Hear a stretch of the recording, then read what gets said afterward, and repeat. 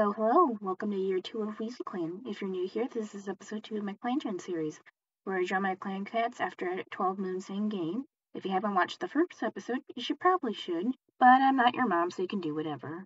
The thankfully much shorter intro aside, let's dive right into Weasel Clan second year.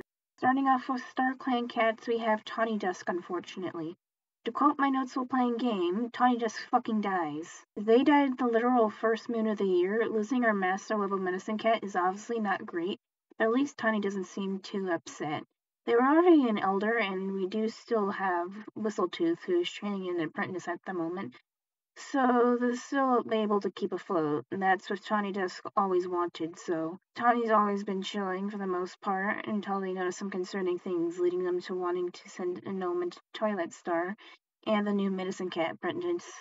Now we have Dusk Freckle. Unlike Tawny Dusk, Dusk Freckle is more upset about his death. He died on the moon 15 with his body being found near the den of a fox. He tried to fight the fox. All throughout his life he was obsessed with fighting things, so he wanted to prove his strength to the point he deluded himself into thinking he could actually take on the larger predator. Clanmates told him to calm down, telling him it was dangerous, with Star in particular telling him to just wait for the moment to shine. But Dusk couldn't wait, and a fox had moved onto the territory, so in the dark of the night he stepped out of camp and entered the fox den. The fight went terribly. The fox woke up and got a nasty neck bite on Dusk Freckle. Realizing he was over his head, he tried to flee. He got out of the den, but the fox pounced on him proceeded to maul him. After his death, Dusk tried to keep his head up, but he still has lots of regrets and now watches over the clan, hoping to provide some usefulness. And so far, he has been helping out Tawny by figuring out what is about to go down in the clan. On to the living, and it doesn't get much better from here. As Twilight Star is not having the best year, he's 126 moons old now, making him an elder. He went from bloodthirsty to fierce, so age has been taking a bit of a toll on him. And this year he keeps thinking about war, clan relations, and battle strategies and all that. And he also got upset at Whistletooth for not taking his health seriously, which later on he did lose a life from a claw wound, proving his fear right. So I think he's quite paranoid now. That paranoia has only gone up since Dusk Freckle's death. It ramped up to the point that when Weedheart accused Twilight Star of being the reason for Dusk Freckle's erratic behavior, Twilight freaked out and attacked Weedheart and with the help of Whis- Sneeze Whisker, this is where he got hit a claw wound, killed him. After that, he was counting his lives, so I think Twilight starts paranoid about his health because he thinks he might go to the dark forest when he kicks the bucket. Same moon, he got his Elder Sprite and became fierce. He's been less mean, trying to think of more productive things like who's going to be mentor and what to say at gatherings. And when another clanmate brought back a litter of kits, he let it slip past and talked to Weedheart, presumably trying to patch things up. Though his luck hasn't changed at all. He's gotten sick and hurt quite a bit, and most heroically, he got hurt saving his only friend, Thistlespore, on the last moon of the year from a dog, which now he has a broken bone from that. Now to address the bow around his neck. On Moon 18, Twilight Star went missing and came back with a bow and was seen touching noses from a cat from Moose Clan, which, fun fact, Moose Clan is named Moose Clan since my fiance has a moose persona. But due to this, Twilight Star has been absolutely mocked by certain cats in the clan. So much so, Twilight Star has been eavesdropping on Trickle Shadow, who has been saying some quite concerning things about a potential coup. Sneeze Whisker this year has been stressed and feeling overworked and annoyed with Twilight Star and some other cats like Dawn Paw. Have I heard he's been keeping his disdain on the down low and trying to suck up to Twilight Star more, following his orders to the point he joined the fight against Weedheart. This is how he got scarred. He was doing this because a certain cat invited him on a secret plan, which he agreed to, which is why he's been following Twilight more, needing to get buddy-buddy with him for info. He's also thinking about other cats a lot, wondering how they're doing and wanting to get to know them better, so he can get more cats in on the plan, or bonding with his teammates. This whole act has been hard on him, but one good thing going from him is his mutual crush on Pricklemouse whom he's been having cute patrols with. One where he noticed how she wiggles her bum in excitement, which is adorable. Sneeze also has a smaller crush on Thistlespore, which I will say is important for next year, but that's Sneeze Whisker. Whistletooth was really nervous when Tawny Dusk passed away, but Whistletooth, wanting to honor their friend, put themselves to work and managed to care for the clan all by himself. with there being a lot he needed to worry about this year. One problem being his apprentice Drizzlepaw. He's struggling to find both time and confidence to train. Whistle keep, keeps having bad days and hearing Star Clan voices, with him receiving a vision of a cuckoo bird hatchling throwing out a black and white baby bird out of the nest. This disturbed him along with seeing another dead queen and kids. Man cannot get a break. This time he was with his apprentice, which also sucks as well. Like, why do we have to see dead babies so much? Been causing him to lose sleep and wish Tawny was still around, even just to help out with prophecies, as Whistle doesn't want to put too much on his already struggling apprentice. Other than a loads of works and visions, Whistle has been mainly keeping to himself, except for his little crush on Honey Ember and Thistle Spore, which I find funny. He likes two cats who are all about the rules, but one crush is unrequited, while another is very much returned. So there's a high chance of a Medcat romance in the near future. Which, if that does happen and Whistle has more kits, I hope he doesn't play favorites because Whistle really loves his son Goldspark, but is neutral to his daughter. Which, come on, Whistle, love your kits evenly, please. Drizzlepaw's winner of Emerald Lake's litter of five kits. He is nine moons old and is a sassy, rebellious guy who is clever and confident with words. When he was a kid, he was noisy and would explain why being quiet was boring. So one day he stuck into the med den and thought it was so cool he would not shut up about being a med cat and would constantly sneak back into the med den to play with herbs. Early on, Whistle knew he was going to be the new apprentice. However, teaching this sassy apprentice is proving to be very difficult, as he will speak over Whistletooth and insist he's doing right when he's doing something wrong. And with how much the year is going on, Drizzle ended up throwing him away from work, not wanting there to be accidents due to Drizzlepaw's ego being upset. He angered Drizzle so much that when he had a vision of a rushing river, he refused to tell anyone. Because of all this anger, the rest of his littermates don't want to be around him, only making him madder. But hopefully he cools down soon. You know how last year Thistlespore was keeping an eye on Whistletooth to make sure he didn't break the code any further. Well, in his time with eavesdropping and spending time with Whistletooth, this is where the strict 78 moon old Tom has fallen madly in love with Whistletooth. Thistlespore thinks Whistletooth is the prettiest cat in the clan, having the status of escorting the Med Cat on patrol, and is always doing his best to stand tall near Whistletooth to hopefully impress the Med Cat. This cross, of course, has led to a lot of inner turmoil with himself as it breaks the rules, and he dedicates his life to the rules. Because of this love, this year has been rocky with him being more distant and snappy, trying to double down on the rules even harder, with him bothering Emerald Lake and eavesdropping on her and her litter, all while talking to his close friend Twilight Star about adding even more rules. This all led to Thistle being distracted, which culminated in him getting attacked by a dog, and Twilight Star having to save him on the last minute of the year. Hopefully that was enough of the wake-up call for him to stop lashing out because of his crush and perhaps get over to confess it. What is what he's currently thinking of, and we'll have to see about it next year. As I am recording this, I will also note that my cat is sitting on top of my fish tank and has been bothering me part of the session. Now in correct order, we have Prickle Mouse, who I drew in a way I like a lot more this time around.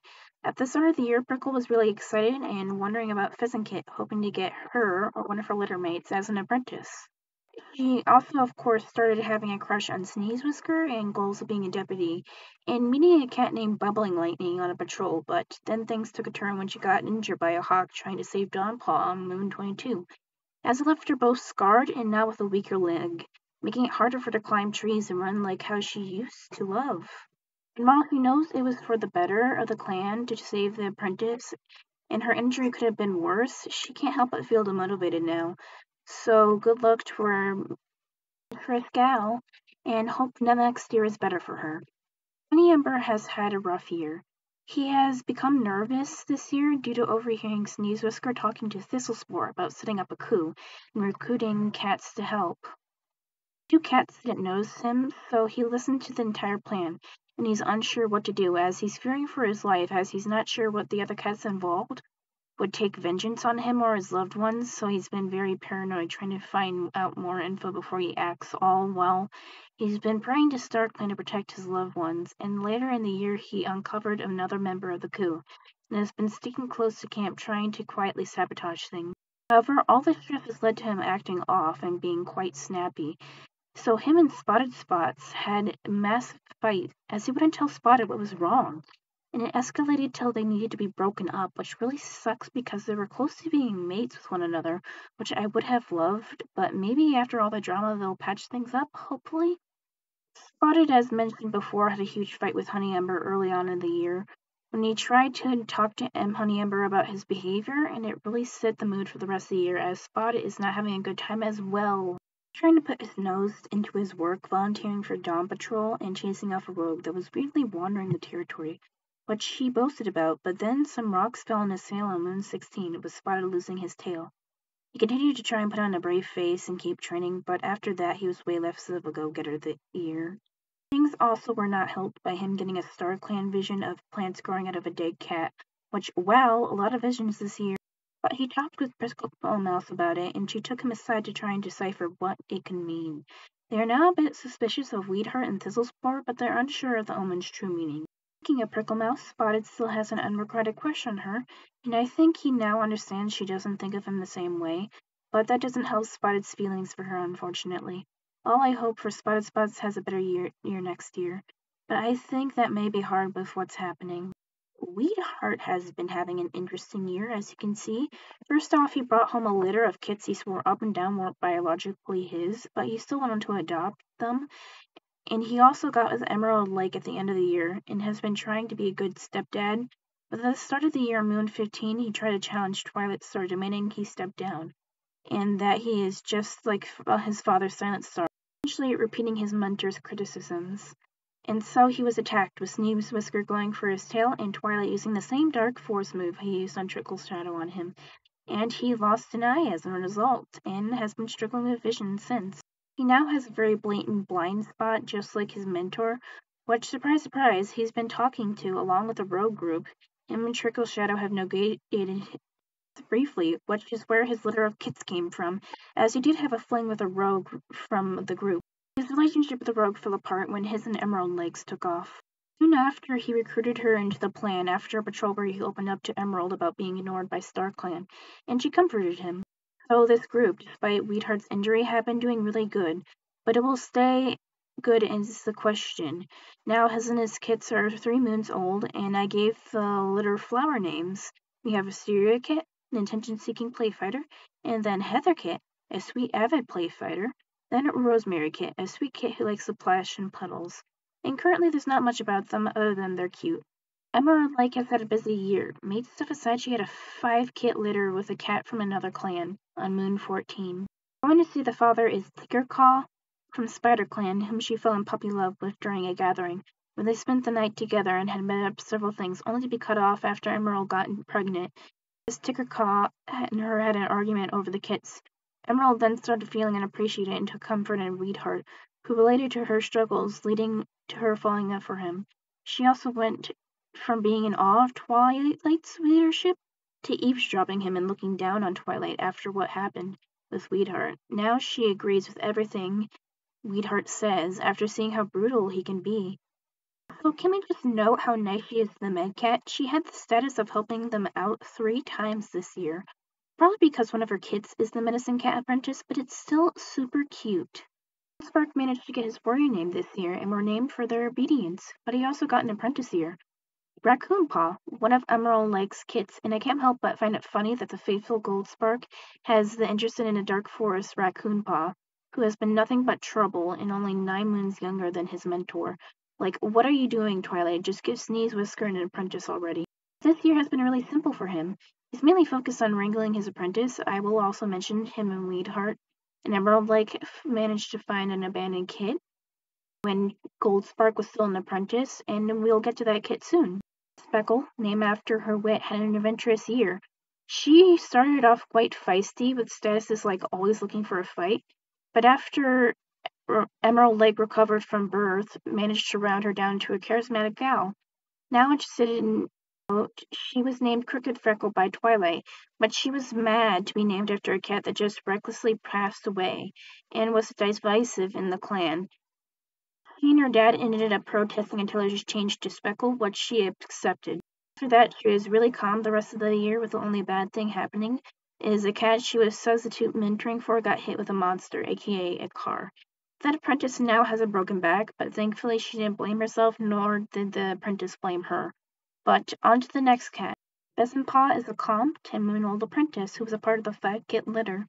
I like to think of her as more gossipy Emerald Lake, as she's a bit catty with her sister, as her sister got the status of listening to gossip from Pheasantpaw. She also likes listening to stories from Trickle but she's still pretty nice. She's confident with words as well as being a good climber. She also has been apprenticed to her mom, and on one of the patrols, she sassed her mom and she started an argument about what she was teaching, and Emerald Lake wouldn't teach her without an apology. Like, Emerald, please get along well with your daughter. Despite her extra spunk, this year has been really tame with her. Not much to say about her other than I'm excited to see more from her, and I can't help but like how round I made her. The Ten Moon Old Dawnpaw was a feisty kid, refusing to take naps and such, and that translated to her apprentice days with her being troublesome and vengeful. Her being really rude and shrieking on her duties and gossiping, it's bad enough that Twilight decided to take her on as an apprentice himself. And I think it's working. Somehow she started daydreaming about having a mate and kids, and if she wants that, she has to be nicer. She's also a fast runner and a good swimmer. Like, girl, you are an over an achiever, and I love it. With that, I hope Dawnpaw behaves better, and on to the next cat. As mentioned in Goldspark's section, Raccoonpaw is very rowdy. He's ten moons old and playful, and shockingly, he has a connection to the Dark Forest, which is a very interesting combo, along with the fact on a patrol of his mentors revealed the nightmares, and unlike Weedheart, Goldspark took it seriously, acknowledging that it might be Dark Forest related. So far, Raccoon Paw has not done anything bad yet, so I'm saying it's just an interest. But we'll see if it stays good and if these visions continue. I will also quickly note that Raccoon Paw has the ability to travel to the Dark Forest really easily, which is what he's doing and why he's been having these nightmares. Now for Frostpaw.